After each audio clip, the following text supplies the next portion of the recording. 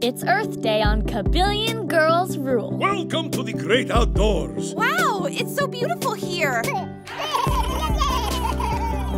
You are lucky to have those plants. Do your part to protect the planet. Okay, everyone, let's get to work.